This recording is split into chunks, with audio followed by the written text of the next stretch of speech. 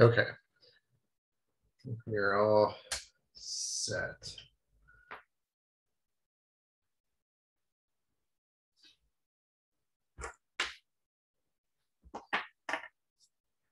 Okay, so just to remind you, it's being recorded and I'll upload this to, to YouTube.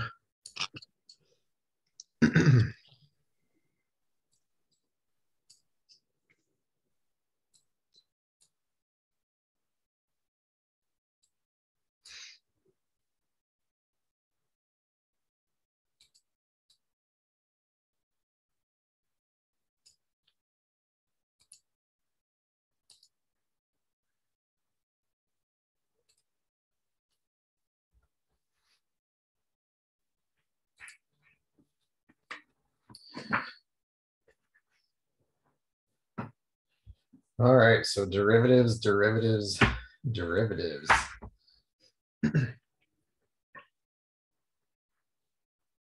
so just to let you know too, like section 3.1, that's not on the exam because I was on the last one. Uh, so this is just uh, sections 3.2 to 3.7. So it's going to start with, um, you know, where you first learn how to use the power rule. Uh, and it's going to go all the way through uh, the related rates uh, section. okay, so what I thought I would start going over first off um, was the the um, derivatives of the trig functions, especially when there's a, a power involved uh, and when there's something weird with the angle. Uh, so that was the the PTA method uh, that was gone over in the videos and the in the notes. And you don't have to use it. It's just a, a tool uh, that I found was pretty useful when doing these types of derivatives.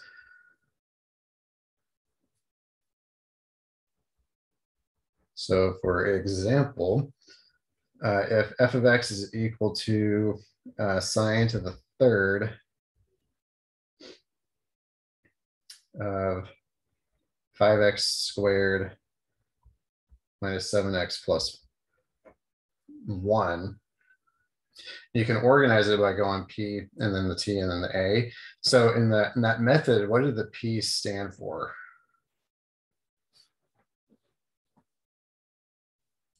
Uh, power. That was the power. so, and it's talking about the power of the trig function. It's not talking about like any power that was in your exponent or inside the angle. Uh, so it's strictly about the, the exponent or the power that's on the trig function. So you're just going to treat it just like the power rule. So you're going to take this three and you're going to pull it down. And when you use the power rule, like right after you pull the exponent down, what was the next thing that you would do?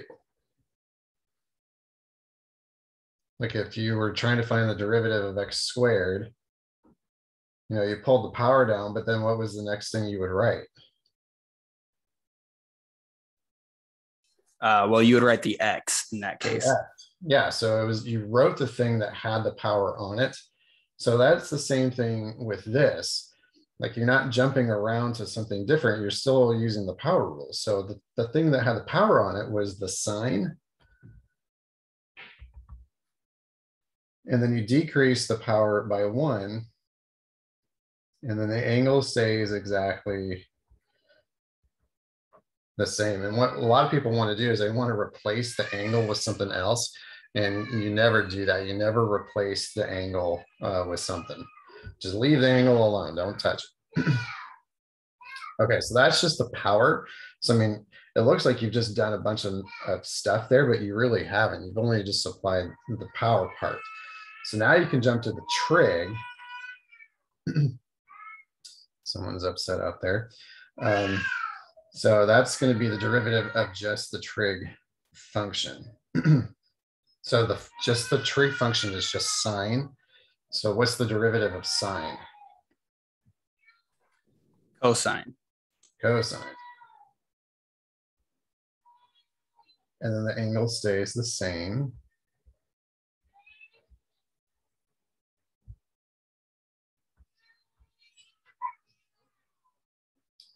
And then you can move to the A, and now you're finally dealing with the angle, and you're not going to change it. And so we've kept the angle the same.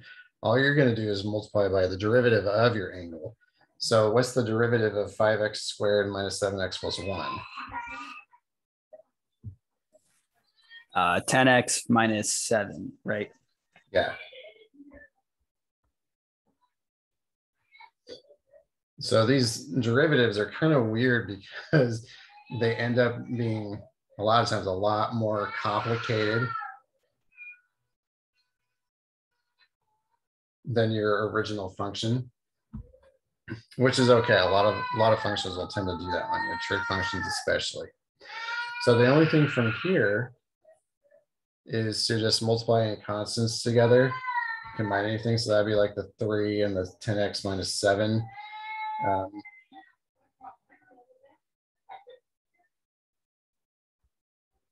it's like 30x minus 21. Times sine squared of 5x squared minus 7x plus 1 times cosine of 5x squared minus 7x plus 1. That is your final derivative. So they're all going to work pretty much in that same fashion. So it doesn't matter if it's sine, cosine, tangent, it doesn't matter what the power is, it doesn't matter what the angle is. You can still follow that process no, no matter what you have, which is kind of nice. That's why we like to use it because uh, it doesn't, the process doesn't change, even though the function does. okay, so what do you guys think? Are you guys good on, on that? Do you want to do another one?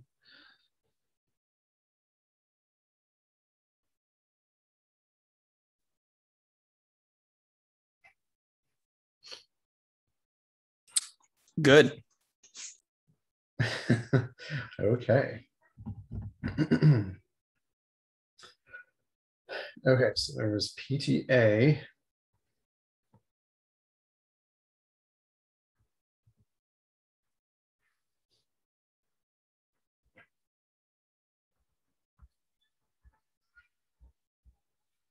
Okay, let's go ahead and talk about just derivative rules in general. So we've already already used the power rule.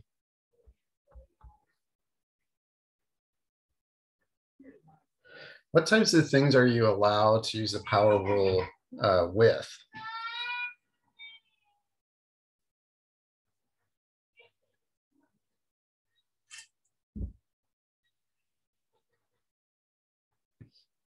So like what type of, of functions or terms or things can you use it with? Uh, polynomials. Uh-huh.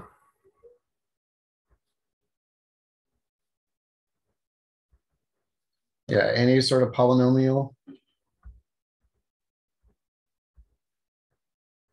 So like x squared minus 7x plus 8x to the third, and so on and so forth.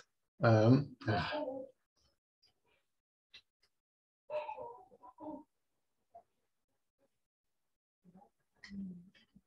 Uh, what else?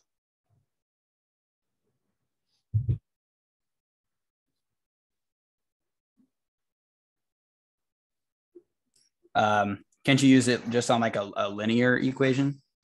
Okay, yeah, I mean that would still be classified under Same a polynomial. Thing. Yeah. Okay. Uh, you can use them on radicals. Uh, the thing about those is that you have to change the radical around to an exponent. So like the square root of x, um, you don't you don't really just leave it like that. You would change it to what? X to the half. X to the half. Okay. So a lot of people just know that the square root of x is equal to x to the half, but they get a little fuzzy when it's something different. So like, what's the cube root of x? What does that turn into? X to the third. X to the third. Okay, so what is the, oh. the rule?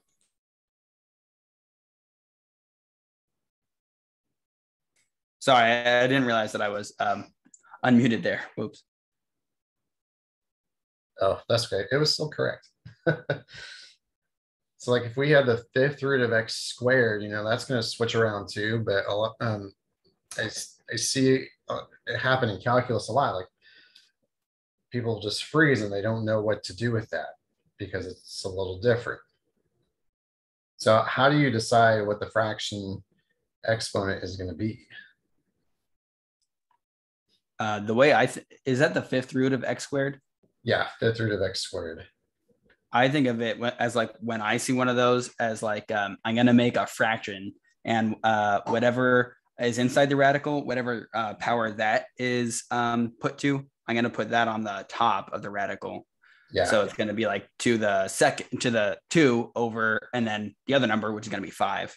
Yeah. Nice. I had a um, chemistry teacher back in the day.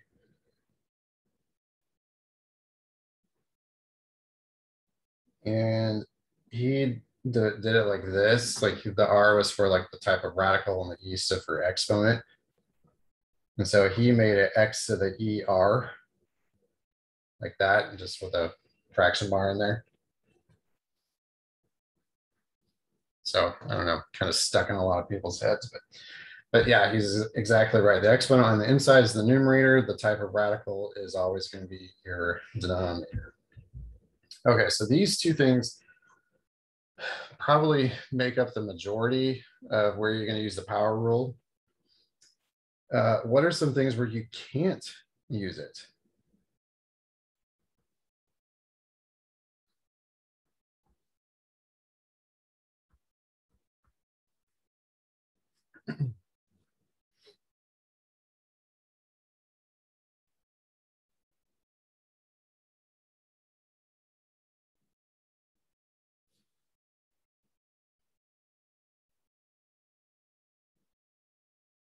You think of a, a function or an example where you wouldn't be allowed to use the product rule, even though you, or, um, the power rule, even though you might really want to?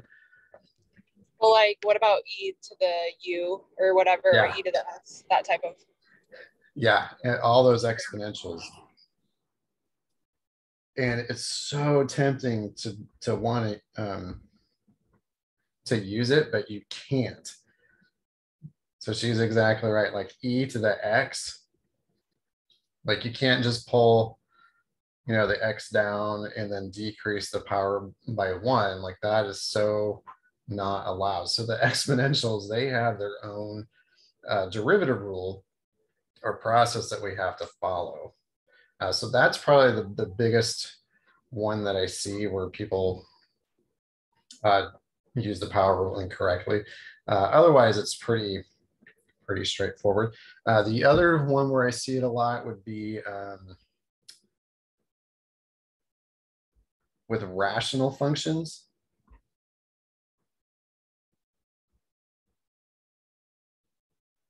So like if we had something, you know, like one all over uh, x squared uh, minus 3x, something like that. What I'll see a lot of people do is they just go, oh, let's just use the power rule in the denominator and say that's just 1 over 2x minus 3, which is really tempting. And that would be really nice because it would be really easy to do, but you can't do that. Uh, so like for this one, what would you have to do instead? You actually have two options. Um, the quotient rule. Yeah, you can use the quotient rule, uh, or what's another way?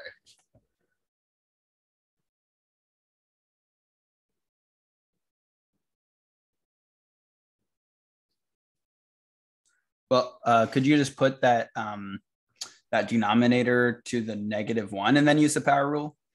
Yep.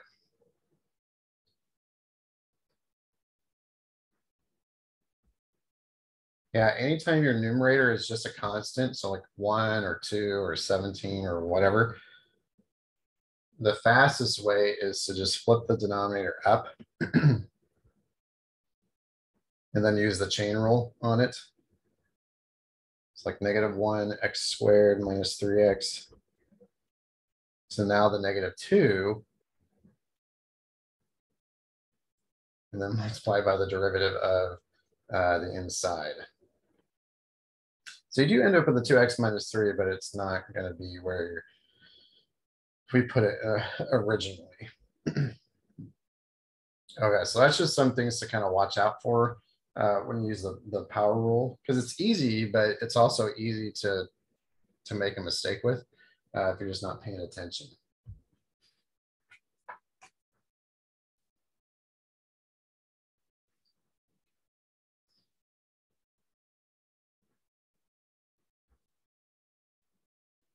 Okay, so we went over the uh, the, the power rule. Uh, and then in the next section in 3.3, there was the, the product rule and also the quotient rule. So the product rule you would use if you have like two functions being multiplied together. Uh, so like 2x uh, times sine of x or e to the x times tangent of x or x ln of x, something uh, like that, or even like two quantities of polynomials, so you wouldn't have to FOIL it. Uh, so anyway, anyway, what is the the rule? So if you have f times g, what is the product rule? Um, I always say like uh, f prime of x times g of x Mm -hmm. plus f of x times g prime of x that's the order that that I say it in. Okay, yeah, that's totally fine. As long as it's in this format somehow, like you could have these two flipped around or these two flipped around, that's totally fine.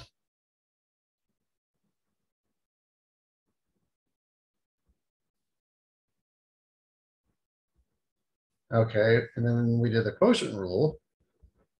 So we had two functions divided. And the quotient rule, uh, we talked about it and use it specifically when the numerator was not a constant. So not something like this last one where you had a one up there. Like you can totally use it, but you're kind of doing the long way if you do. Um, but if that's all you can think of, then there you go. Okay, so what's the quotient rule? rule?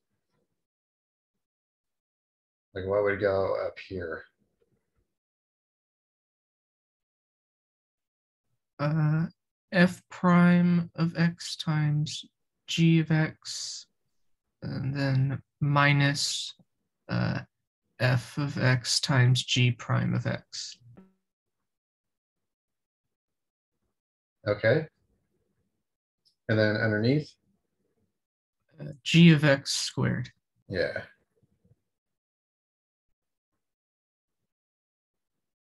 g of x squared.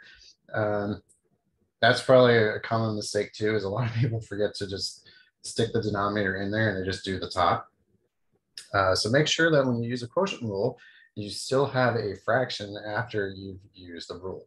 It might simplify down to something that's not a fraction, but um, at least when you use the rule, you're still going to get a fraction out of it.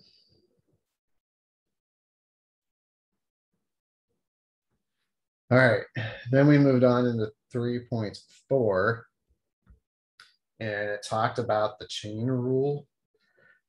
And this is where the floodgates kind of came wide open. Um, so we were able to now kind of basically throw in any function that we could ever possibly think of um, and try to find its derivative.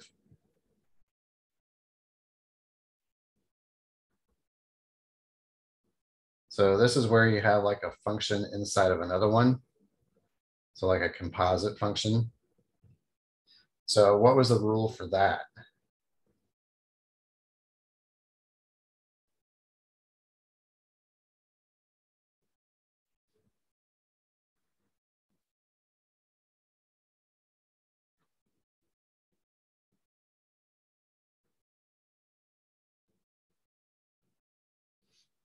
Uh, it's f prime of g of x and then times g prime of x. Yeah.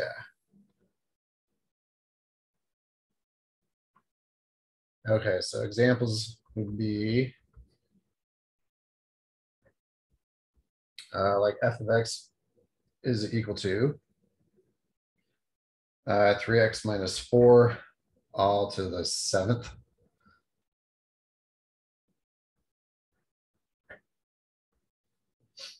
So then you're using the chain rule.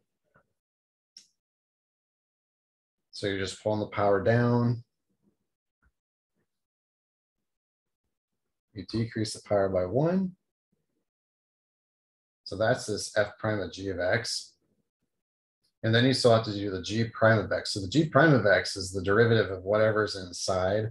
So then just the derivative of 3x minus 4, which is usually what? Three. 3. And then multiply your constants out. So 21 times 3x minus 4 uh, to the 6. Oops.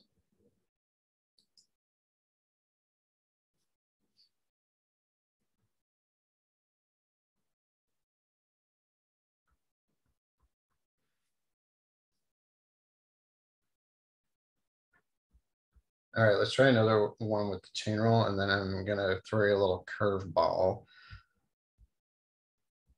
Uh, so let's do.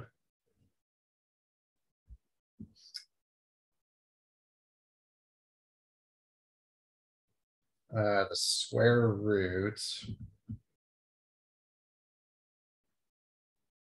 Of ln of x minus one. Yeah, let's just do that.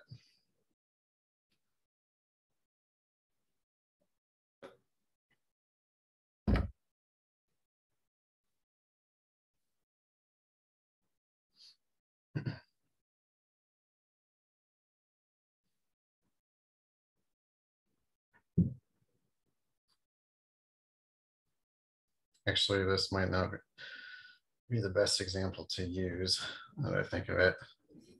Let me do it. Let's go e to the x plus 5x. We'll try that one.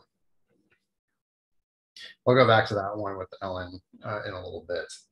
Uh, not just yet.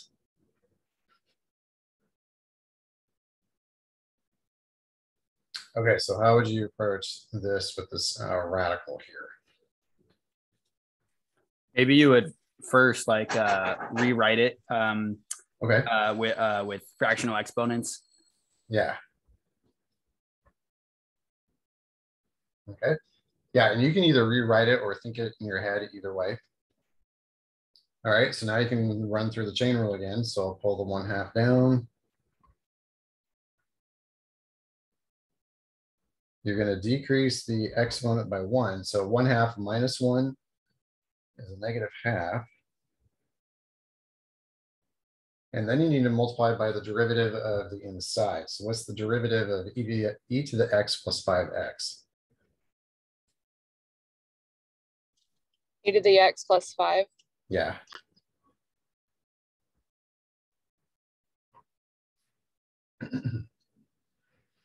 Okay, so this one, there really isn't a whole lot you can do. Like if you multiply stuff together, things don't really simplify or like actually multiply out. So this one, it would be totally fine if you left it uh, like for if, if it was a free response question.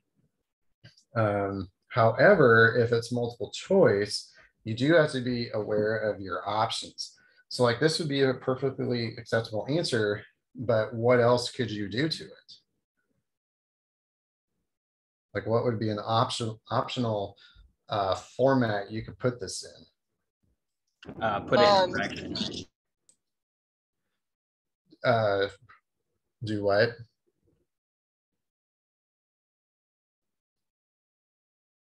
Two of you said something at the same time, so it kind of got jumbled together. I'm sorry. I said I said uh, uh, put it in a fraction. Okay. Yeah, so this e to the x plus five will stay on top. And then you can flip this negative exponent down underneath.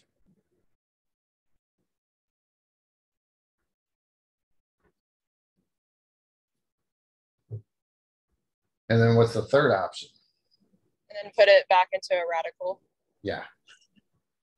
So if it was multiple choice, you know, the multiple choice could have one of these three options. So you do have to be aware sometimes of what you can turn uh, your, your answer into uh, for those for those questions. If it's free response, you could have any of these three and that would be totally fine. Um, if it was free response back to this first one, you do need to multiply the three and the seven together to give you uh, 21 because that does simplify down, whereas this one doesn't really simplify, it just changes.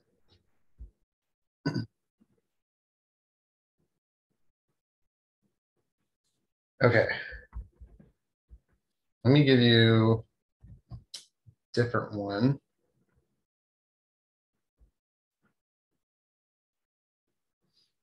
Let's say h of x is equal to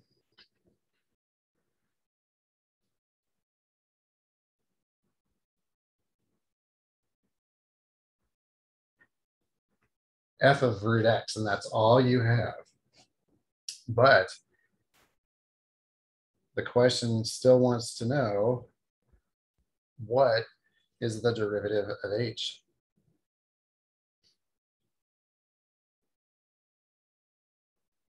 So this is still going to require the chain rule, but this is where you really have to know what the chain rule is and how, how it works. so you're kind of going back to your little definition here and you're just kind of following it straight out. So just like the chain rule says, it's just going to be right here. So it's going to start out as f prime of root x. But then you need to keep going. You got to multiply it by the g prime of x.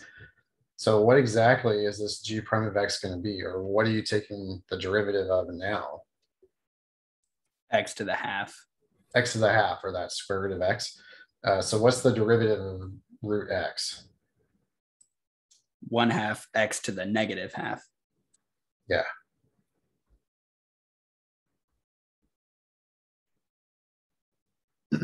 So the chain rule can be used with like specific specific functions, um, or it can be used in kind of a general format.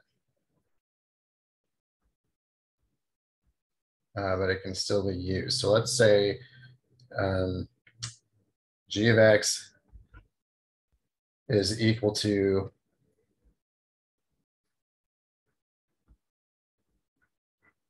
tangent of f of x.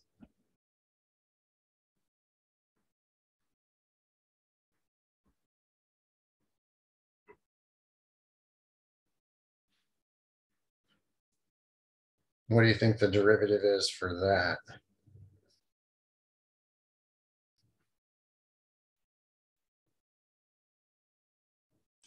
So, so first you would take the derivative of uh, tangent of f of x, which would be Okay, uh, secant squared of f of x. I think. Yeah.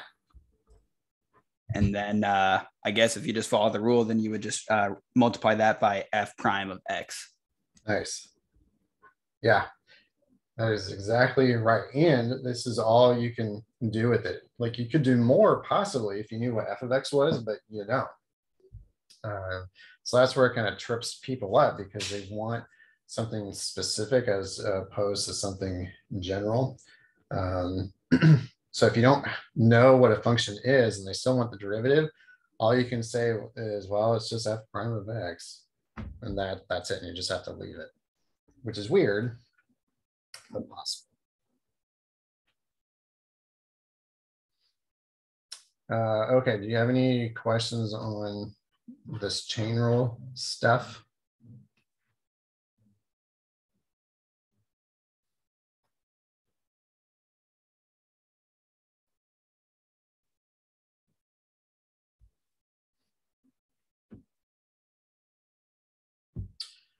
All right, I'm gonna take that as a no.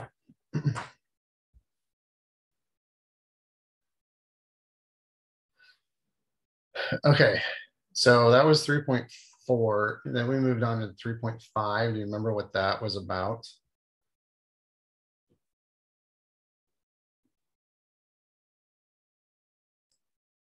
Uh, implicit uh, differentiation. Yeah.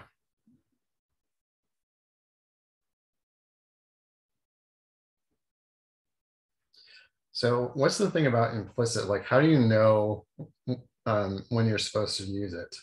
Like, if they don't tell you to use it, like, how would you know? Uh, maybe if you see like x's and y's on like both sides of the equation. Yeah, x's and y's on both sides, or, or at least together.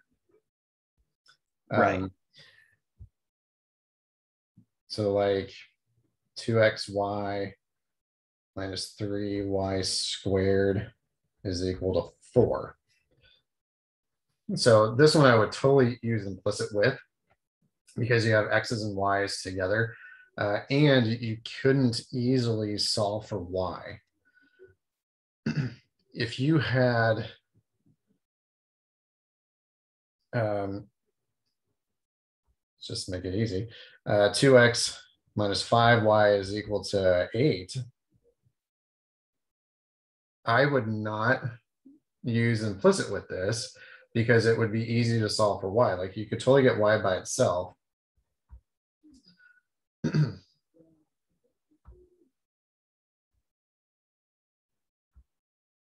now you can just get its derivative.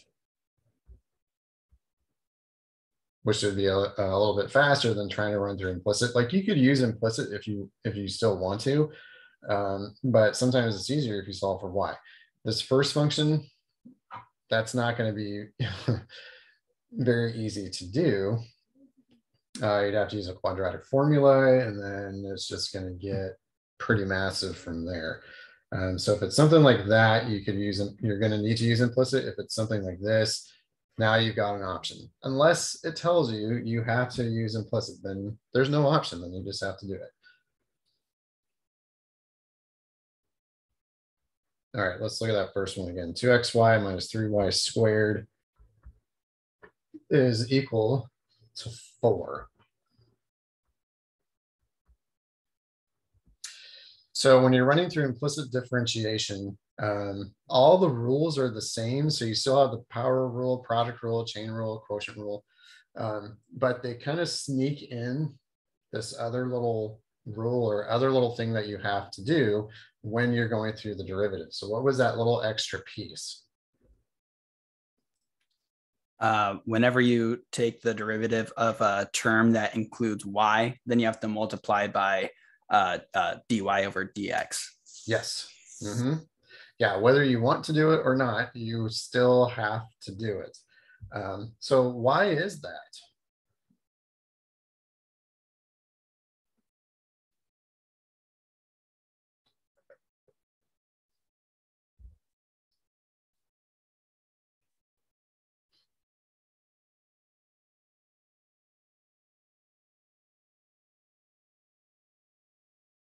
Because it does seem weird. It's like, well, wait, why do we have to do that? We've never really done that before.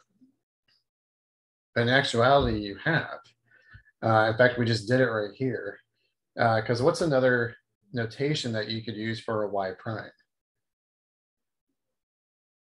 Uh, dy over dx. Yeah. So you do this every single time you do the derivative of a y anyway.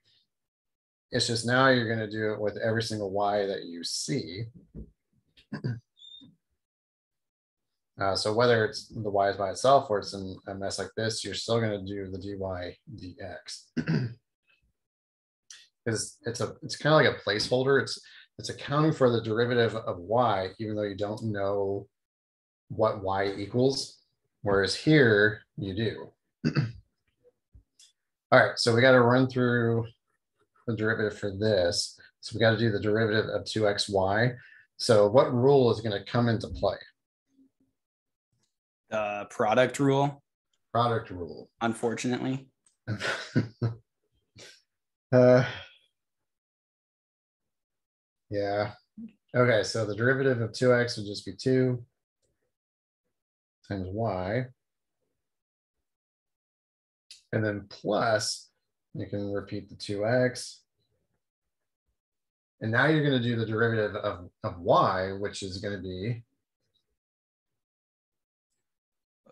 one times dy over dx. Yeah.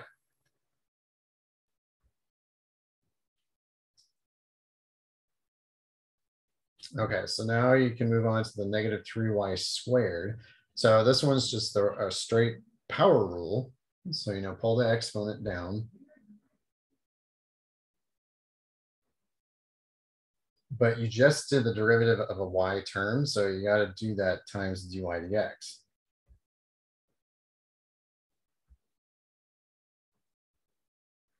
And then it's going to equal uh, what? What's the derivative of 4? Uh, usually zero. Yeah. And this is where something that would be easy to check because sometimes when you're doing this implicit stuff, if it's coming out weird, you're like, this doesn't seem right. Or if it's like a multiple choice question and this answer, what you're getting is not one of the choices, check that. Make sure that when you did the derivative of the constant, you made it zero. Because uh, a lot of the time, I'd say at least 50% of the time, that's the mistake. Uh, a lot of people just forget or they're going too fast. And I've done it myself where you just leave the four as a four instead of doing a derivative. All right, so how would you proceed from here? Or like, what are you trying to do? What are you trying to solve for?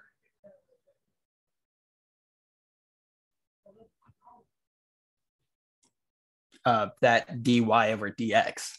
Yeah. So you need to get this dy dx by itself.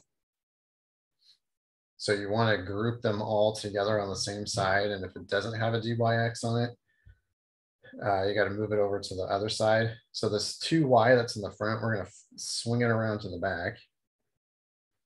And at the same time, let's pull out your dy dx.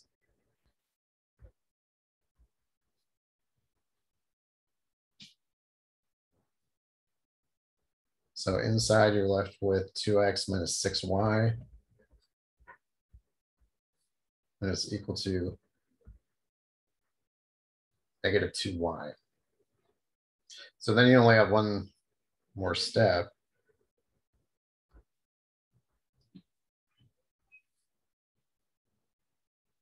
And that's just to divide by what's in the parentheses.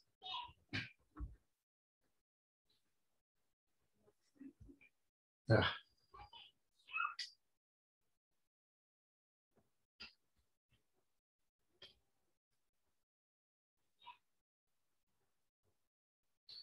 And then once you have it, you know, the dy dx by itself and you've got a fraction, then you can see if the fraction reduces and this one does.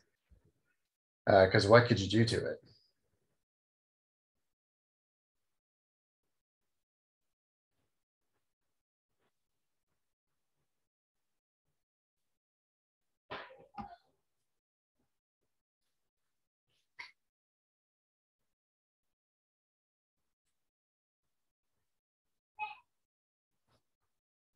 Oh, factor out two?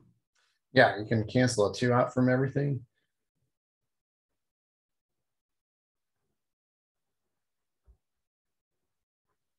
So negative y over x minus 3 y. And sometimes like what the book wanted to do, and I'm not sure why it likes to do this, but I noticed that's in their answer key, like in the back of the book, if it was a homework problem, sometimes they don't like the numerator to just be negative. So they'll flip all the signs. This is something you do not have to do. Um, but if you were ever wondering, like, why do they always put it like that? Or how did they get there? That's all they did. Just flip every single sign and there you go.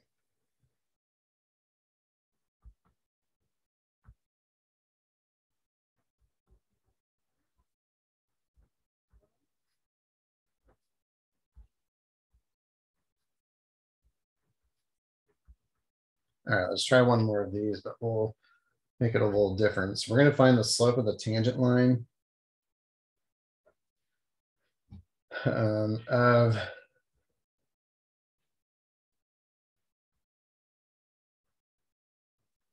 uh, sine x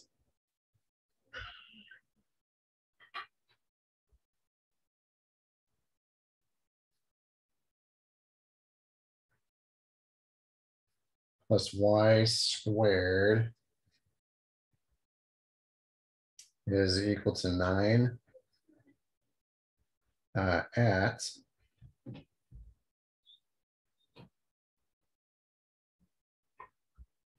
the point zero three.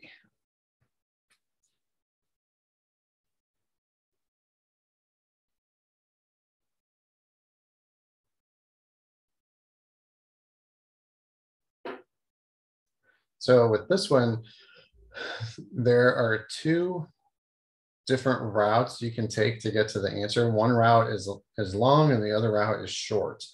Um, they'll start the same way, but then they're going to split depending on what you decide to do. so I'll, I'll show you how I would do it once we get there. So to start, you, you have to take the derivative uh, using implicit. So what would be uh, the derivative of sine? Cosine. Cosine. And then the derivative of y squared. Uh, 2y dy dx. Yeah. And then it's going to equal zero.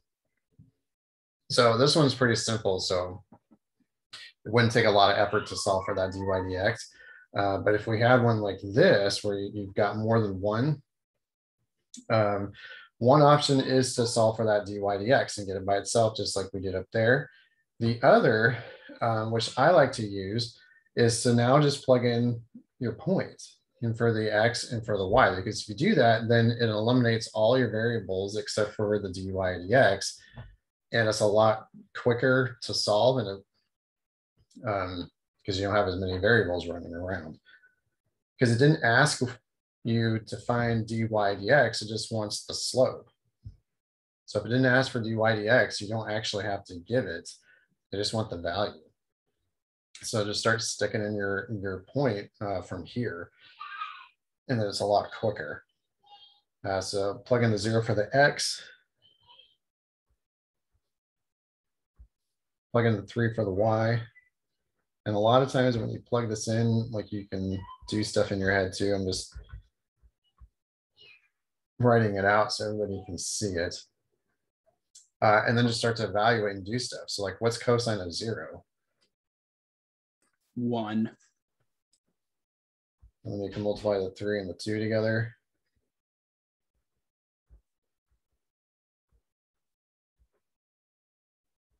And then you can quickly solve for your dy dx. Oops. So it's just negative one six. So that's what I like to do. Um, I usually, they just want the slope. I don't bother trying to get the dy dx by itself in the beginning and then plug it in. Uh, I plug it in right away.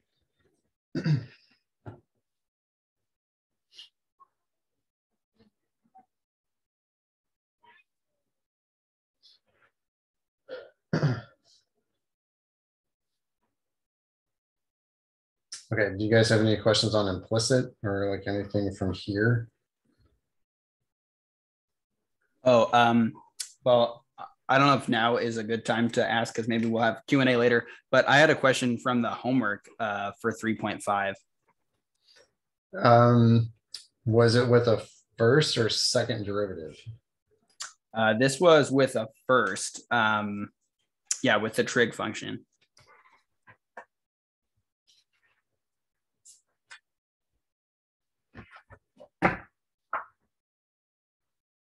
See what time is it? Yeah, I think we can do that. Um, do you remember what it was? Uh, yeah. Um, yes. So, well, I know it was uh, number 29 on 3.5, and I have the question. I can get it real quick. Uh, I think it's, yeah. So the question is uh, tangent of x plus y equals x. All right. and we're supposed to find uh probably uh is it um the equation of the line that's tangent to the point zero zero, either that or like the uh, or or the slope of the tangent line at zero zero. It wants the slope of the tangent line at zero, zero? Or the, or the tangent line itself, or both? Oh, uh, you know, it just says evaluate the derivative. So just so just Oh, the, the slope. Just yeah. slope, okay. And uh, what was the uh, function again, or equation? Yeah, it's a, a tangent of x plus y. Like the And angle is x plus y? Like that? Right. Yes. And then uh, that equals x. at zero, zero. Okay, so um, the derivative of tangent would be secant squared. Your angle stays the same. But now you have to multiply by the derivative of your angle. So the derivative of x would just be one. The derivative of y would be one dy dx.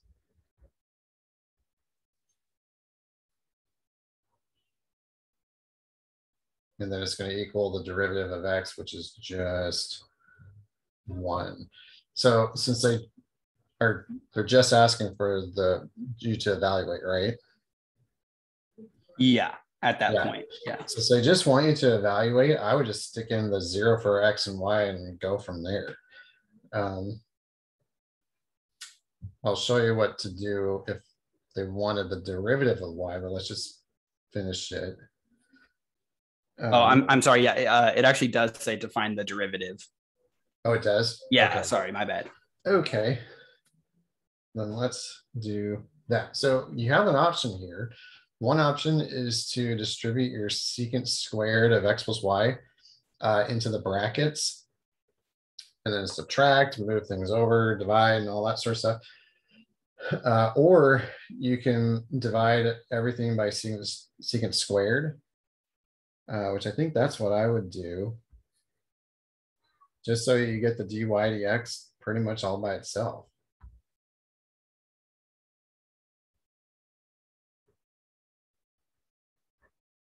Because if you divide one by secant squared, it just turns into cosine squared. And then to finish it, you just have to subtract one. Oh, okay. Yeah. And then you'll get like sine, uh, sine, sine squared, right? Uh, you could, if, yeah, you wouldn't have to. Yeah. Um, is that what the, the book had as their answer was sine squared? Uh, I, I forget, um, uh, to be honest, but I want to yeah. say they, I want to say they don't, and they might have.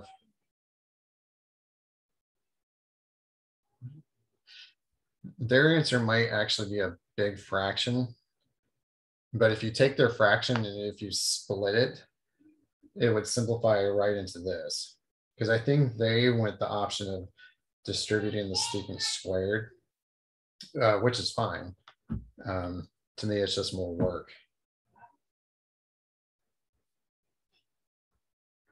Okay, so then at zero, zero.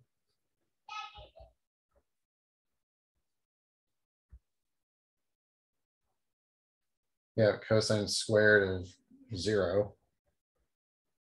And then minus one. So cosine of zero is, is one, one, and then minus one, so zero.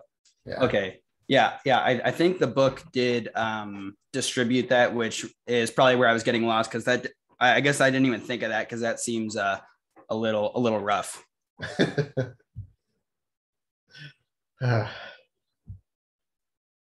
A Little bit. Okay. Well, thank you. Good. Sure. So actually, that was good that we're, we did that one. So now that you know that the derivative is zero, what does this tell you? Um, well, if the derivative is zero, then the slope is zero there. So, what does that tell you that the that the function's like horizontal at that point, or Um, well, not that the, the function is horizontal, but that you have a.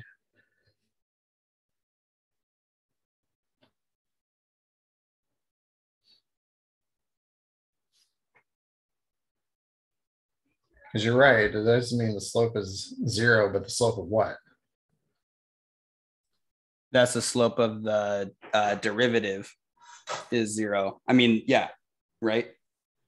The slope of the function is zero, but the like that's telling you that like this slope, like yeah, it's the slope of the function, but it's also the slope of the tangent. Oh, Line. that. Oh, okay. Yeah. So whenever the slope, like, or whenever the derivative comes out to zero, yeah, that does imply that your the slope is zero, but they're they're usually referring to the slope of the tangent line.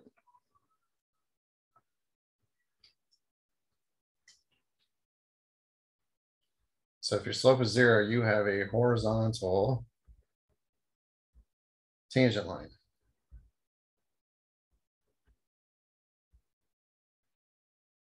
At that specific point. So for this one, it was at the point zero, zero. So we're going to see a lot more of that in uh, chapter four, uh, because chapter four is going to start to build on the derivative and go, okay, now that you know how to find it. Um, so if I give you a function and I tell you to find the derivative, now we're going to look at what you can do with it beyond like acceleration, uh, velocity, and that type of stuff. Like, what does the derivative actually tell you uh, in regards to the function? Okay, cool. Thank you. Sure. Okay, so something else that was in that section along with implicit, and it was kind of, it was right at the end of it, was the logarithmic.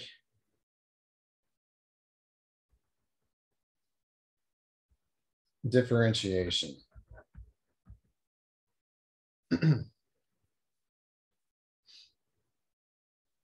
So it was used with functions that would be a little bit more difficult to find the derivative of. Um, like they were typically already in terms of y, but if you left it the way it is, like you would be doing all sorts of crazy rules all at once. So there'd be like a product rule within a quotient rule within a chain rule, which is doable, but um, no one wants to do that. so I don't know, let's, if it was. Actually, we'll do two different ones. I mean, it's something like uh, x plus one or x times x plus one times x minus five. You know, something like that. So you could expand all that out which this one might not that be that hard to do. But if it told you that you had to use logarithmic differentiation, then you can't expand it and go from there. So if you're supposed to use logarithmic differentiation, what does that mean? Or like, what is it telling you to do? Um, uh, to take like the ln, our natural log of both sides. Yeah. which seems really weird. Like, oh my gosh, now we have to deal with a log or the ln. And it's like, yeah, now you do, but logarithms have some little properties, mainly in that they break apart uh, products, they break apart quotients, um, they pull exponents down. So it may, it takes like a really complex function and it kind of pulls it apart it makes it a little bit easier to deal with. So like ln of x is ln of x plus one plus ln of x minus five, because now the derivative is really fast. The one thing you have to remember though, is that when you do the, the derivative of that ln, you're still, you're gonna need to use implicit. So it's one over y times dy dx. And then over here on the right side, everything's just as just like normal. So what's the derivative of ln of x? Uh, one over x. Okay, the derivative of ln of x plus one. Uh, one over x plus one. Yeah. And then the derivative of the last term. And if you're wondering how he's doing that so quickly, you know, you take whatever's in the ln, you put it in the denominator. And then you take the denominator, take its derivative, and stick it up top.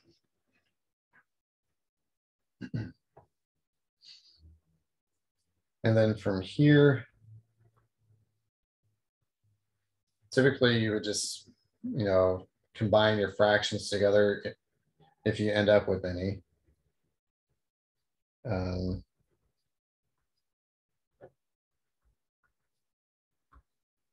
But I'm gonna assume you know how to do that, so we're gonna skip over that part. Um, so you combine them together and then you would multiply by y.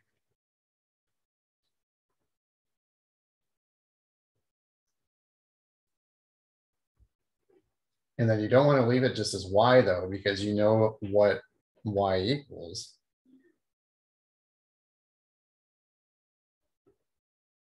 So you switch the y back out.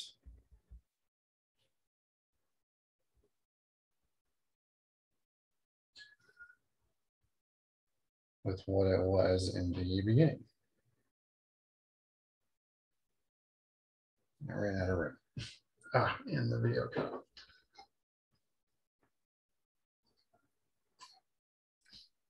Um, when you say uh, you trust that we can like deal with fractions, you just mean um, uh, grab a common denominator and uh, okay, Mhm. gotcha. Which actually this one. Yeah, you could. Yeah, get a common denominator. Um, yeah, and just start to, to simplify. So from there, it's just the algebra.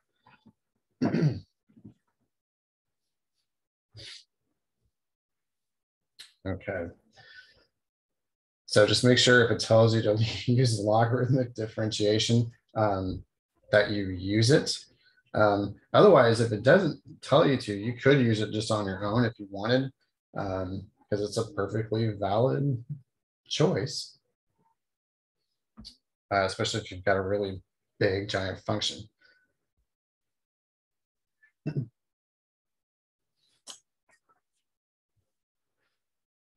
Okay, so that was 3.5, 3.6. Um, that was the inverse uh, trig functions. And we're going to stick with just this, the same three that we talked about in the, the videos and the notes.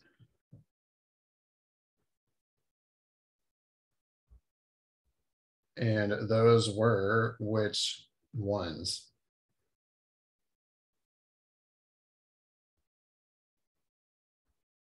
Like which three did we uh, focus on?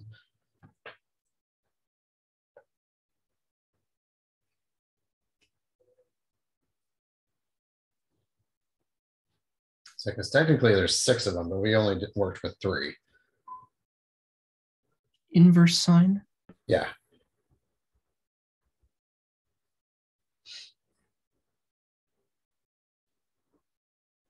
Uh, what was the second?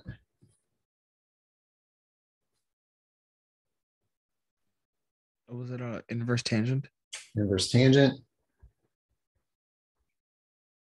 And most of our examples were with just those two, but we did uh, a couple with the third. And that was, Arcsecant. which one? Is it arcsecant? Yeah.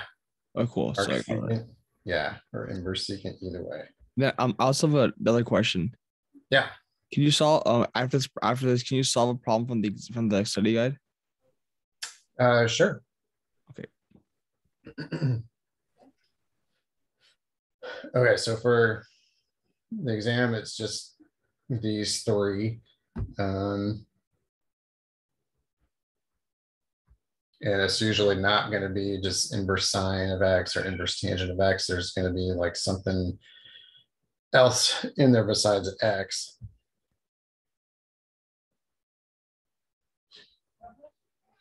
So like if um, f of x was equal to inverse sine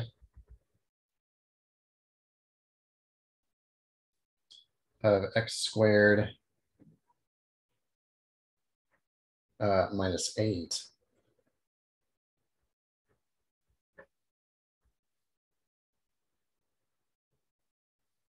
The derivative is going to be uh, a fraction. And for inverse sine, it has a square root in the denominator.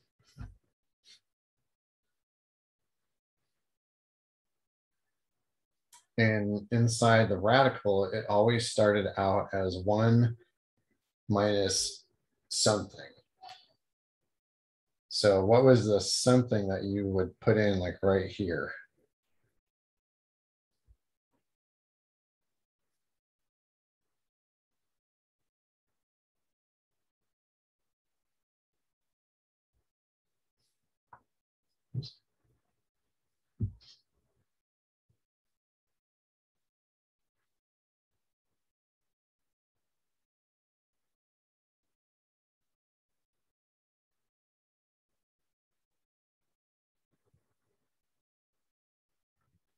In the numerator it's 2x because of the u prime. Okay, so but uh, I was talking about like right here Oh. inside the radical. Inside the radical uh, would be 1 minus, uh, I guess, all of like the entire function besides the sine, the inverse sine squared. So x squared minus 8 squared. Yeah. So yeah, you just take whatever's inside the arc sine, stick it in the radical and square it. And then on the numerator, he was right, it is a two X. So where's the two X coming from? It's the derivative of x squared minus 8. Yeah, it's just the derivative of the inside again. Um, and then you can simplify, if you can simplify, uh, it's like this one. The only thing you can really do think, is just expand what's inside the radical. So like FOIL this x squared minus eight out and distribute uh, the negative. So it'd be negative x to the fourth plus sixteen x squared uh, minus sixty-four. And then you can combine the one and the negative sixty-four.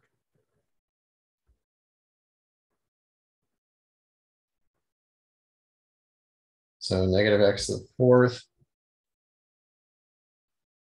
plus sixteen x squared minus sixty-three.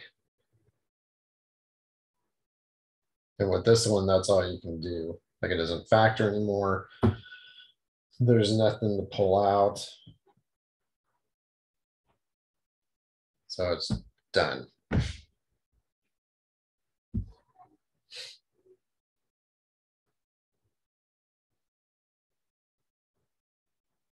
Okay, so that was three point six, and then the last one, three point seven, was on the related rates.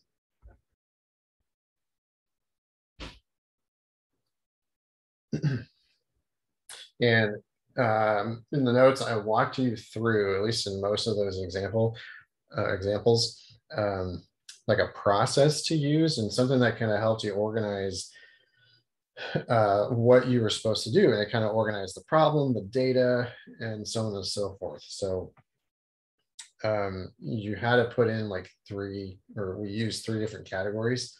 Uh, what were the three categories?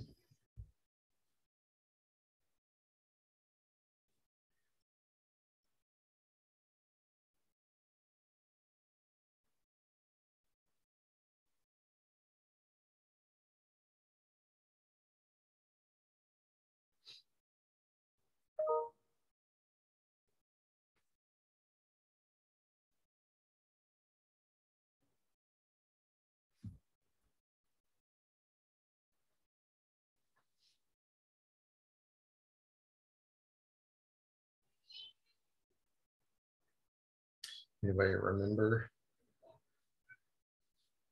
No.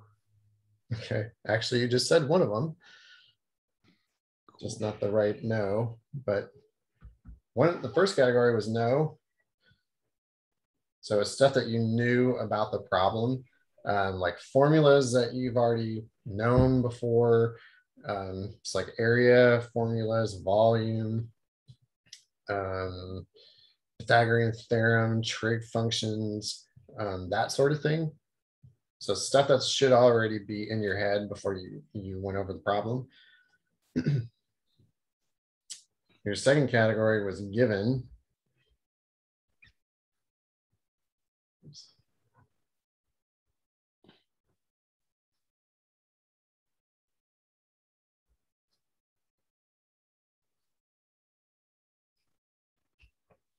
And that was like any data that was in the problem.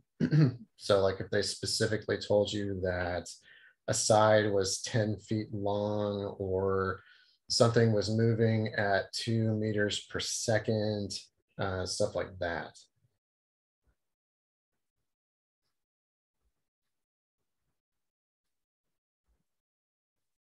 And then the third category uh, was what? Find. Find. So this is what you were trying to find, or what are you trying to do? Or what are you solving for? And the question has to tell you, you know, what you're solving for, otherwise you have no idea. Uh, so it's usually uh, a rate, uh, or it might be a side or something, but it definitely tells you like what you're actually trying to do. okay, so let's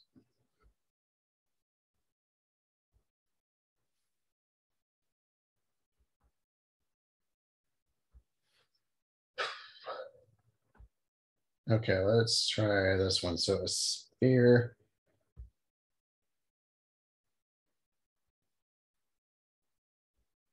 Uh, is expanding.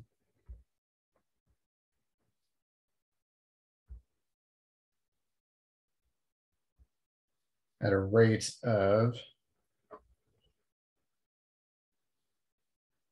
uh, Evan Jefferson, what's your favorite number?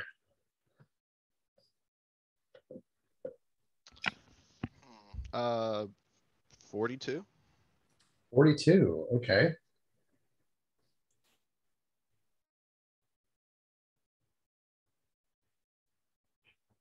Okay, so a sphere is expanding at a rate of uh, 42 cubic centimeters per minute.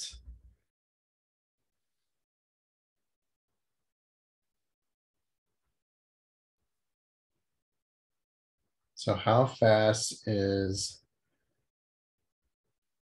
radius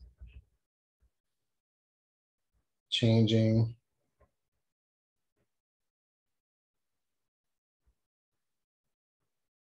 when the radius is, we'll choose a smaller number, uh, three. Three centimeters.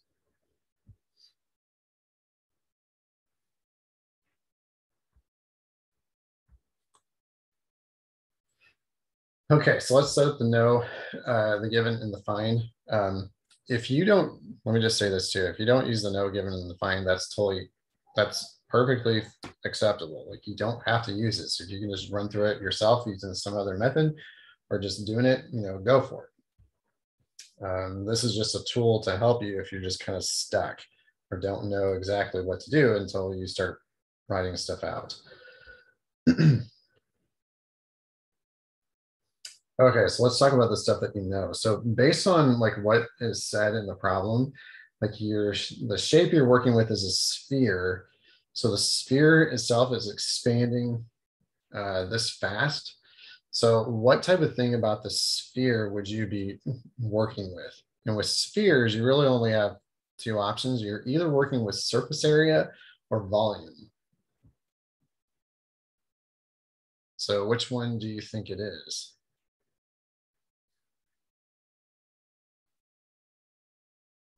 You want to go with the volume or do you want to go with the surface area?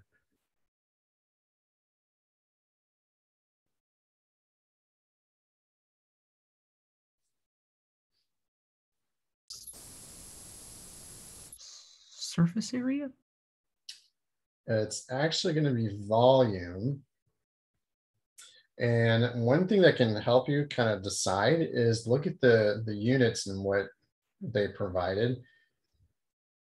So if it's filling up or expanding at a rate of cubic whatever, that's always going to be a volume. Because the units for volume are always like cubic feet or cubic centimeters or cubic inches. If it was centimeters squared, then you'd be talking about the surface area because that's the unit for area. All right, so we're working with the volume of a sphere. And what is the formula for the volume of a sphere?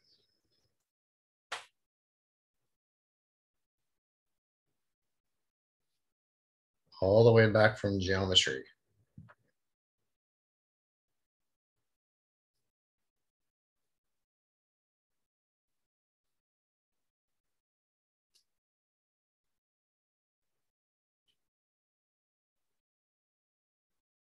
Um, four over three pi r cubed. Yeah. All right, so that's our no. This is the formula that we known or gone over before this before this class. so now you're given uh, or any like actual values that were stated in the problem. So we have this 42 cubic centimeters per minute. Um, so what is this actually going with? Is it like a length? Is it a rate? Like what is it? And you can't say, well, I don't know. You just have to read the problem. Isn't that just like a, a volume expansion or growth rate? Yeah. So it's the rate of the volume. So how do we normally label the rate of the volume?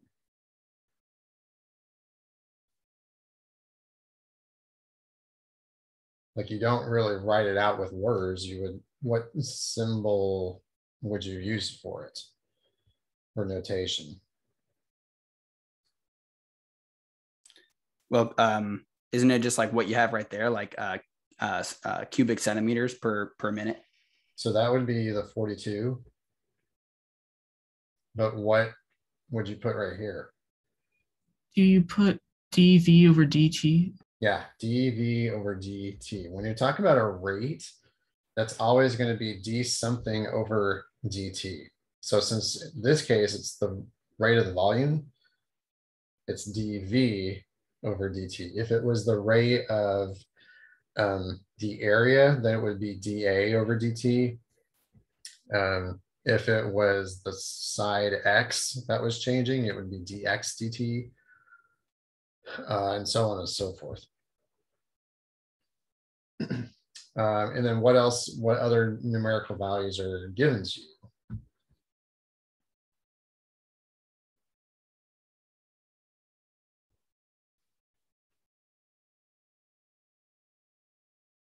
The radius? The radius.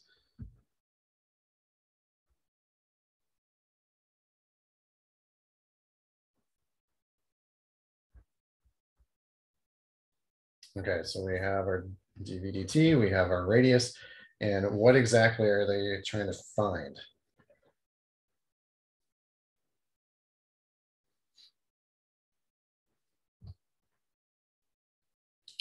So that would be how fast is the radius changing? Or uh, what is the rate of the radius? So if it's the rate of the radius, um, what notation would we use for that one?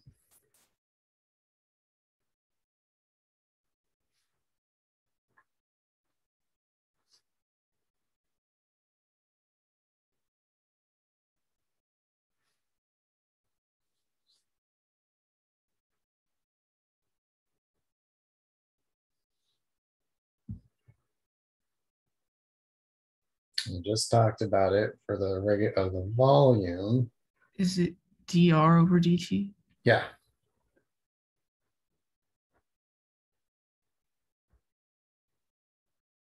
So this is what they want you to find. They want you to get a value for this, this DRDT. So it's going to come out as like five or seven over four or whatever. okay, so this is what you want, they want you to find, but it is nowhere in this no equation. So how do you get this to show up from that equation or that formula? Like, what do you have to do with this thing right here so that this comes into play?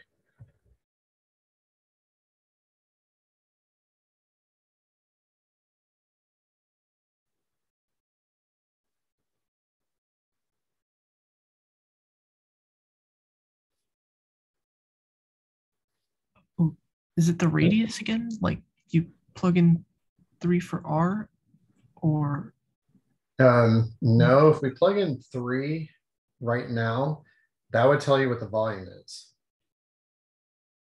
Which is fun, but it's not what it's asking you to do.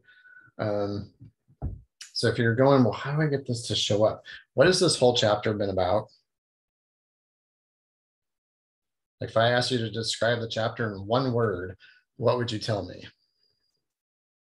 derivatives? derivatives. So how do you get this to show up? Derivative. So you have to take the derivative of this formula, whatever is sitting right in the no category, uh, with respect to t. So the derivative of v is going to be dv dt. And then over here on the right side, your four thirds is just a constant, pi is a constant. So they just stay as they are.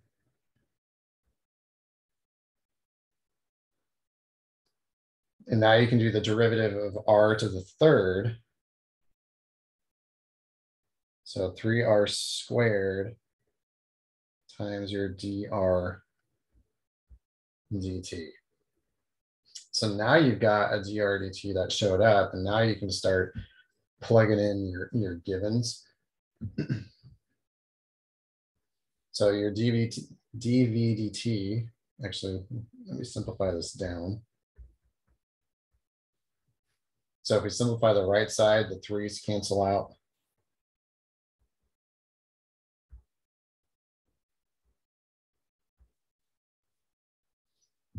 Now you can plug in the 42. And plug in the three.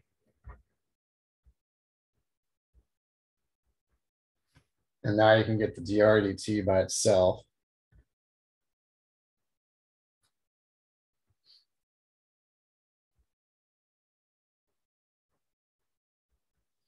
Okay, so let's do a little um, mental math. Uh, what is three squared? Nine, Nine times four, 36. 36. And the pi just stays as pi. And we can simplify the fraction if, if possible. Um, so what goes into 42 and 36? Uh, six. Six. So just cancel six out of them.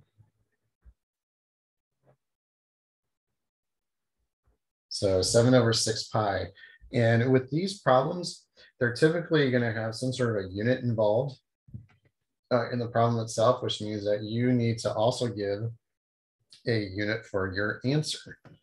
So what would be the units uh, for this? It'd be seven over six pi, uh, what?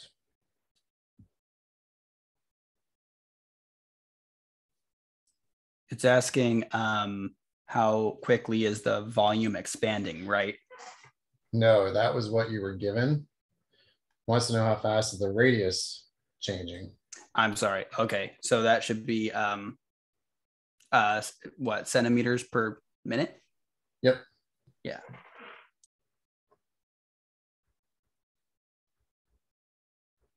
And if you're sitting there going, well, how do I figure that out? You know, just think about what types of units you would use for a radius. you know, a radius is always centimeters, oops. Um, just centimeters or just feet or just inches or whatever. So there's no exponent on it. If it was a volume, then it would be seven uh, centimeters cubed per minute. If it was an area, that would be centimeters squared per minute. But if it's a length, then it's just centimeters per minute or feet per minute or meters per second or something like that. Uh, but you definitely want to give the units.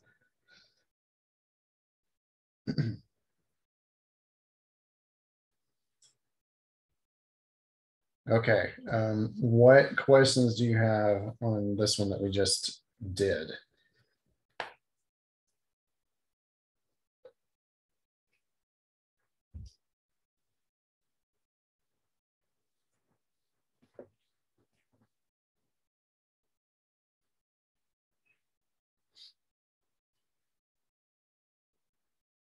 Uh, I don't know if anybody else is in the same boat, but I I haven't done this section yet. Uh, I'm gonna work on it today. So, Oh, okay. so I don't have any questions. I don't know if like anybody else is in the same boat. Yeah, my apologies. Yeah, So, Oh, uh, no, that's, that's fine with me. Everyone works at their own pace. Which, which section is this? This is three point seven. Oh, uh, this is on the exam. Yeah, Oh, okay. Yeah, the last page of the syllabus has the content of every exam and, the- and every quiz. got it. Uh, wait, could you go over um on the on the study guide? It was the second page. It's uh question eleven. Okay, um, so before I do, any other questions on this though? No. Okay, anybody else?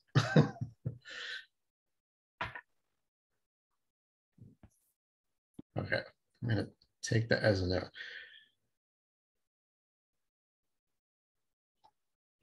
Okay, you said number eleven from the study guide, the, is the baseball diamond? Yeah, is is, is that is that on three point seven? Yeah. Okay, cool. Okay, uh, because I haven't started three point seven yet, so I'll start that today then. You haven't done three point seven yet either? I haven't. Not yet. Okay, so then why are we going over a problem that you haven't done yet? Uh, uh, uh, I didn't know it's three point seven until for now, so um, I guess I, I'll I'll just uh work on three point seven. So you don't have to go over it. You don't have to go over it then. Okay. Uh, does anybody else want it that actually has done the section?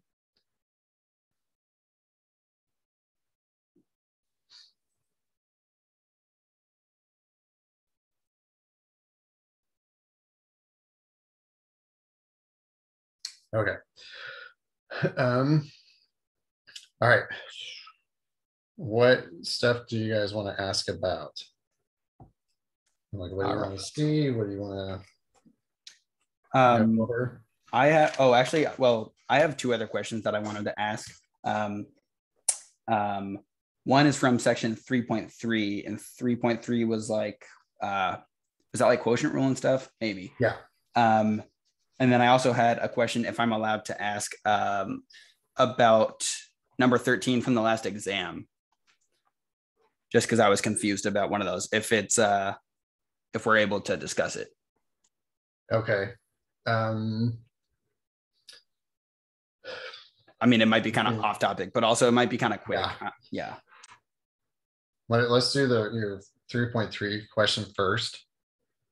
Um, was the, uh, question thirteen from the exam, was it, um, on continuity or limits? It was, uh, yeah, it was evaluating a limit of, um, I had a fraction that involved, um, some natural logs, I think, to exponents. And I just like got it totally wrong. And I, I think I made an out, or I think I messed up on the algebra, but, uh, if we, if we can't go over it now, it's not that big of a deal. Okay, so what I'm thinking of, uh, I think you just, um, you, you pull the power down. And then most of it cancels out. Okay. Yeah. I think that's what, that's what, um, the Um, comments said also. Okay. Uh, okay, so what was the derivative question? Or the one from three point three? Yeah, uh, it, I know it was number 57 and I can uh, look at it right now. Um, I'm in the textbook. So just one sec. Um, Let's see if got. Okay. Yeah. So so um, the question is um, find the derivative of the transcendental function, and um, the function is going to be y equals e to the x over four root x.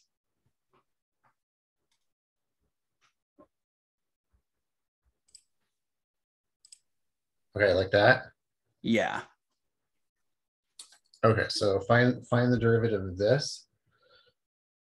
Okay, Yeah. I know I couldn't do it when I was doing the homework. Um, I I haven't given it a try in a couple days. Um, but I, I would like to, to go over it anyways.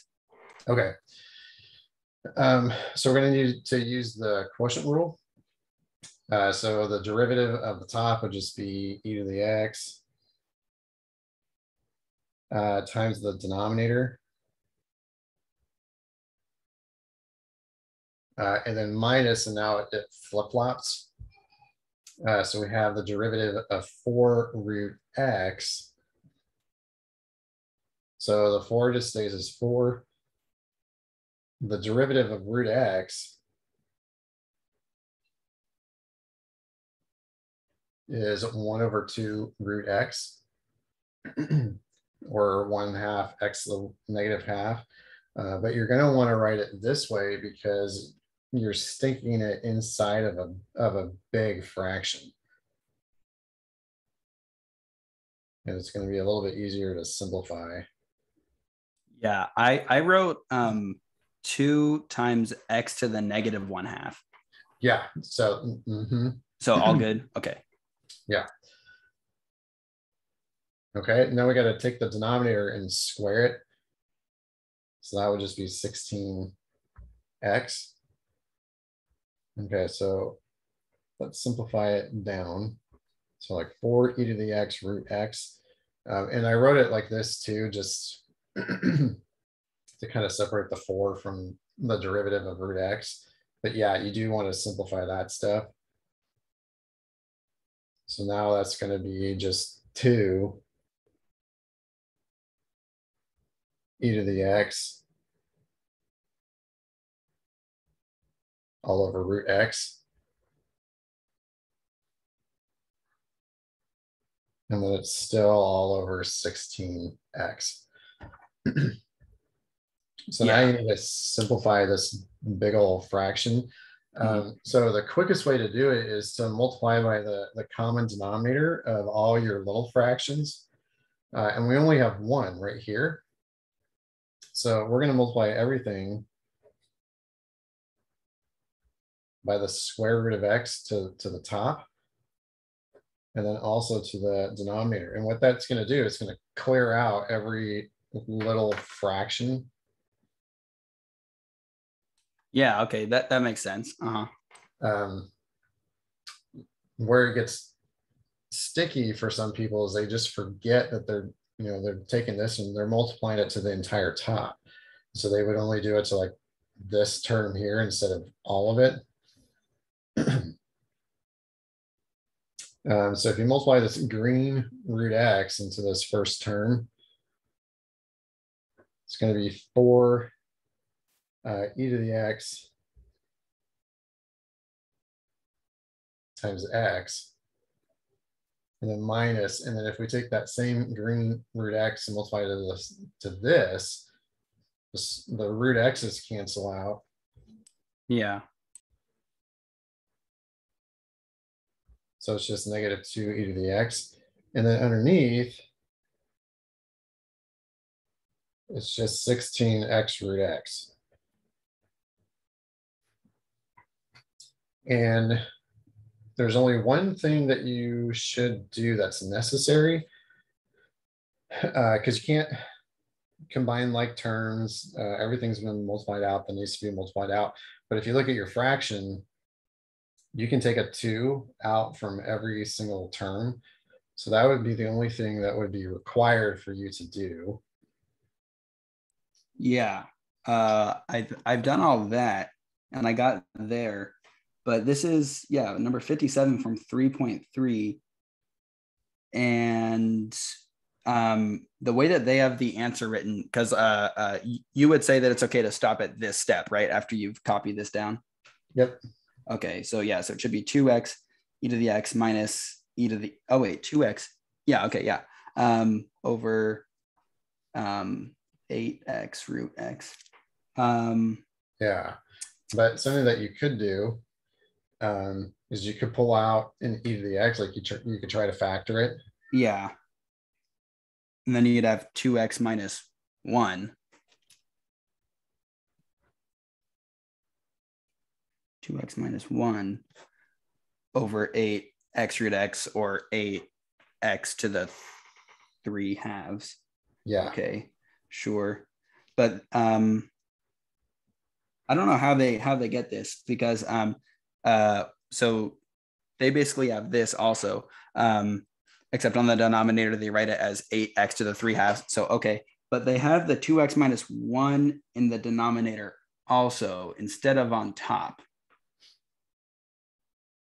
So that so the answer according to the book is like e to the x over um, 8x to the 3 halves times 2x minus 1 and i just uh, wasn't sure how to move that down like this.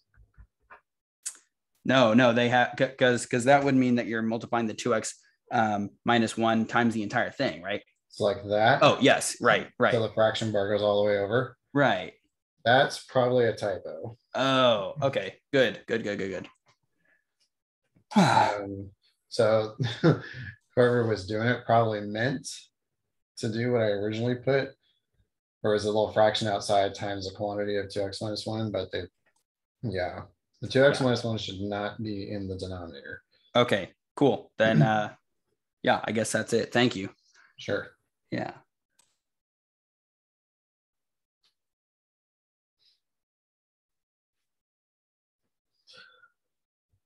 Um, let's see, this reminded me of something else though. Actually, were there any other questions on that problem? From anybody else?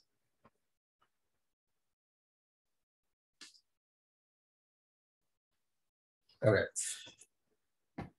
So this was um talked about in three point two and also in three point three.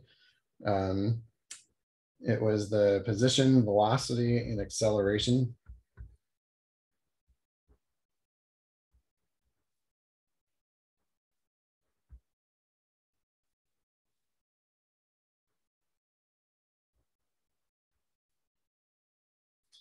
So if your position uh, was say x of t, how would you get the velocity function? uh, All they gave you was position. What would you do to get velocity? x prime of t Yeah. Just take the derivative. And then in three point three, they introduced the uh, acceleration. So how would you get the acceleration function? um, x double prime of t or v prime of t Yeah, so you're taking the second derivative of position to get you all the way down uh, to acceleration.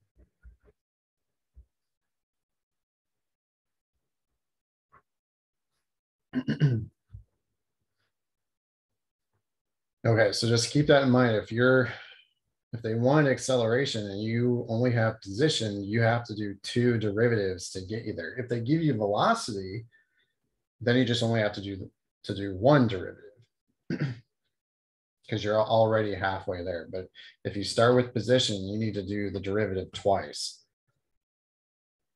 Uh, so that can get you to um, your acceleration. So that was, um, what question was, I think that was question number five from the fourth quiz. So the quiz from uh, last week. Um, and there were different varieties of whichever problem you got, but they were kind of similar.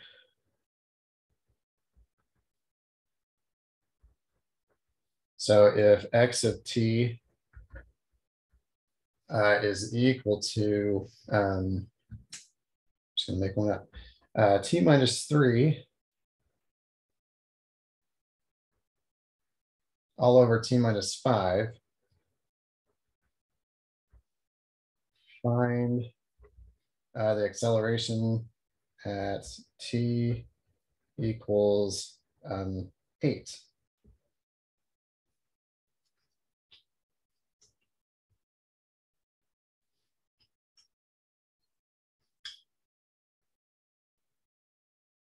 So if you just plugged in the eight, like right now, if you just plugged it right into here, what would that give you?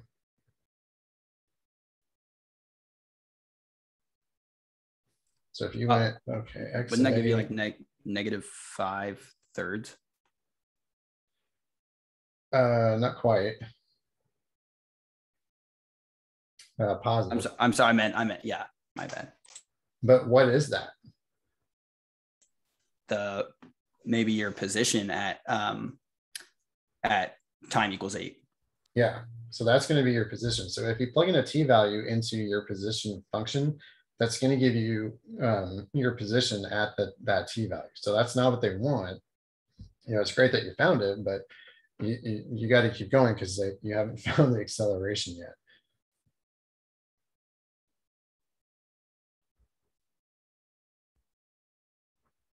Okay, so you gotta keep going right off of this. You gotta first get the velocity, and then you can start getting the acceleration.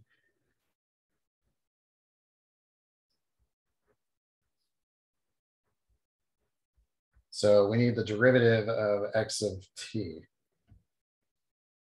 So what rule are you gonna have to use for that? Quotient rule, Mhm. Okay, so the derivative of the top is just one times the bottom. And then minus, and now it flips uh, as far as the order. So the derivative of the denominator is one times the top, and then it's all over the denominator squared. So if you distribute, you have t minus five uh, minus t plus three all over t minus five squared. So from here, you know, if you have any terms that you can combi- combine, go ahead and combine them. Just simplify it down as far as you can. So like the t's on top cancel out and then negative five plus three is just negative two.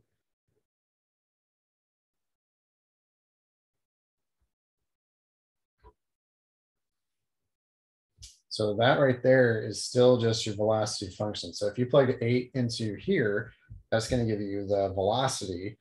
So you got to keep going. You got to get your acceleration. So do the derivative of the function you just found. And there are two ways to do it. Uh, one way is to use the quotient rule, which is fine. Just remember that when you do the derivative of negative two, what does that equal? Zero. That's a zero. So what I would do is I would just flip this up and make it t minus five to the negative two, because then you don't have to use the quotient rule, you can just use the chain rule. So pull the negative two down. Decrease the power by one, so negative two minus one is negative three. And then multiply by the derivative of the inside, which is just one. So your acceleration function is just four all over two minus five to the third. And now you can finally plug in the eight.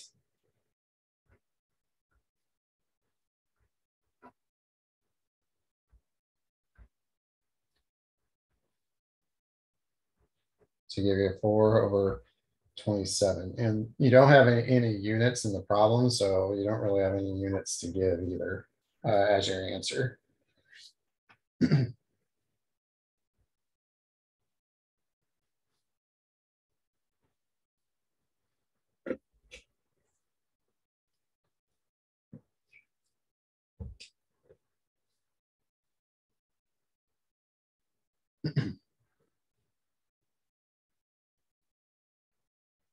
All right, any questions on, on this guy?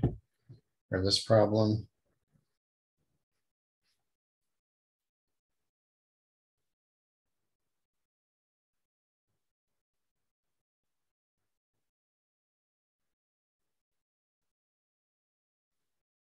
Okay, um, let's see, what other questions do you guys have? Or what else do you want to go over and just things in general? Um, anything off the notes, the videos, the homework, uh, the study guide? Um, just stuff that you've actually tried though.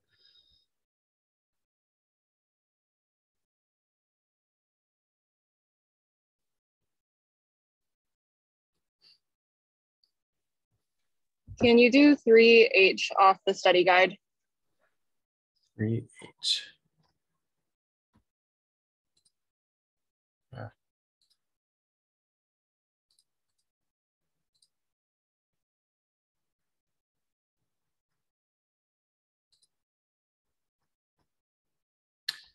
The derivative, the derivative of ln of sine of e to the x, Yeah. that one? Yeah.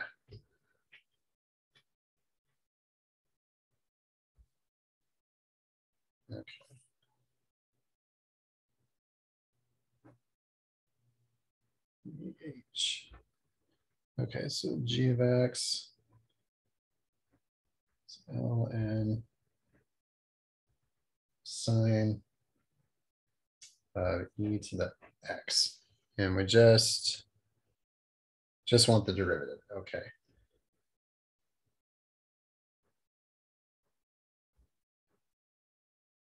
All right, so this one's kind of the, the chain rule within the chain rule. Um, so first we're going to deal with the ln part. So we're going to kind of work our way from the outside and work our way in. So for an ln, when you find its derivative, you take whatever's inside of it, which is all that sine e to the x stuff. You take all of that and you just throw it straight into the denominator. like you don't change it at all, just put it down in your denominator. And then on the top, you take the derivative of your denominator and write it on top. So what's the derivative of sine? So that's cosine. Mhm. And then the angle stays the same. Uh, and now you multiply by the derivative of the angle. Uh, so what's the derivative of e to the x? So just e to the x. Yeah. Okay, so that's so I was trying to I don't know why, but I was trying to go from the inside to the outside, and that was a lot simpler than I Oh. thought it was. Okay. You yeah, you can you can do that too. It just it starts to get a little bit trickier because it's like, wait, what what did I just do the derivative of? um, and the only thing else that you could possibly do with this, so I can't remember. Yeah, doesn't that go to cotangent? I think. Yeah. Mhm. Yeah. Yeah, because you have cosine over sine and the angles are the same. So yeah, just e to the x times cotangent. Okay. Okay. Yeah, that was a lot easier than I thought it was. Uh, okay. Cool. Excellent. Okay.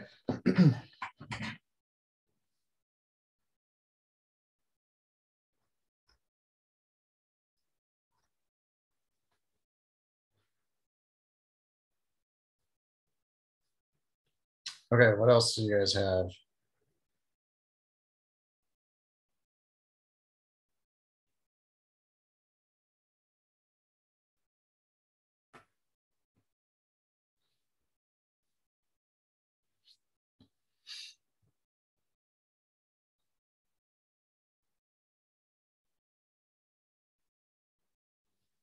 Uh, we can also talk about any quiz questions.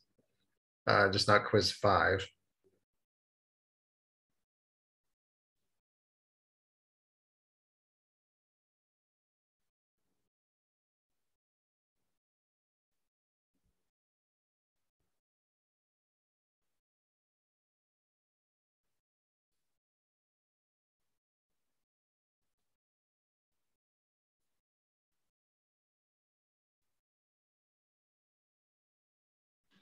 Are you gonna have quiz four graded soon?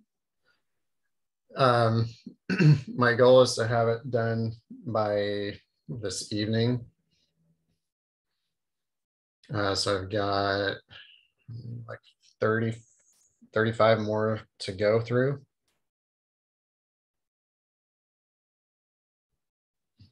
That's a lot. Do you have like a couple class sections of like of like this same class? I have three. That's a lot. Wow.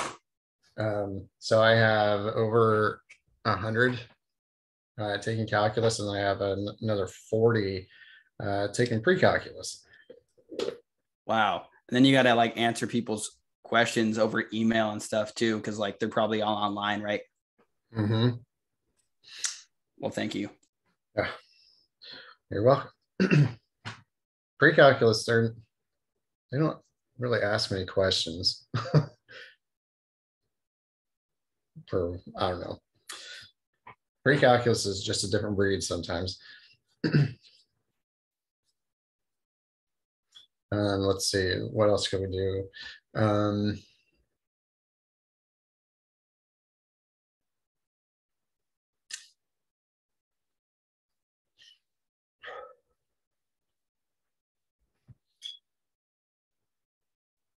So we can talk about tangent lines. We can talk more on rates. We can talk more on the chain rule, implicit, second derivative with implicit. Um,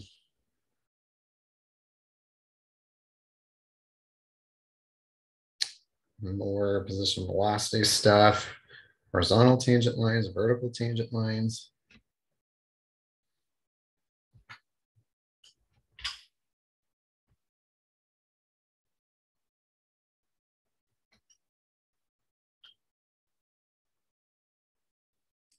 You know, uh, you've already answered all of my questions, and uh, like I said, I, I have to still do a, a section of the stuff. So if nobody else has any questions, then I should probably just like get a get a start on that.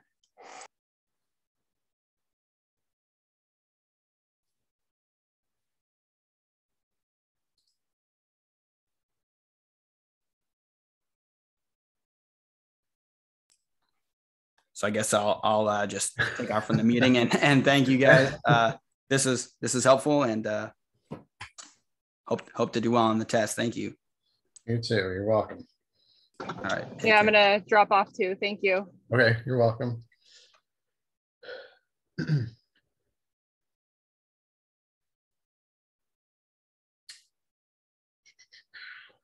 Um,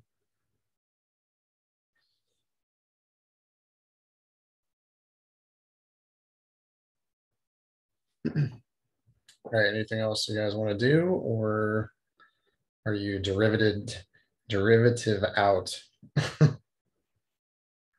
Uh, I guess I still have to take my uh, quiz five, but hopefully that won't be too bad. I'm, I'm doing that today. I don't want to do a quiz and a test on one day. I wouldn't either. A lot of people do, which is fine. It's set up so you could, I guess, but yeah, that would, that's a lot of math all at once. It's almost four hours if you just took the entire time for both of them. Wow. All right. Uh, thank you. You're welcome. Bye. See you later.